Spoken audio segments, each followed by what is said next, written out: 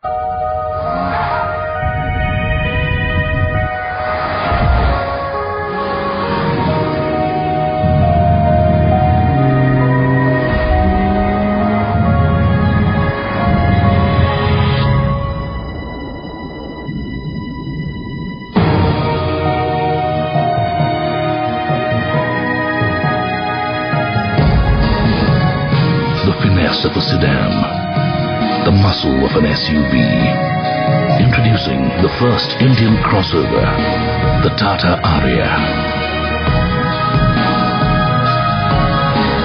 Tata Aria, a new breed.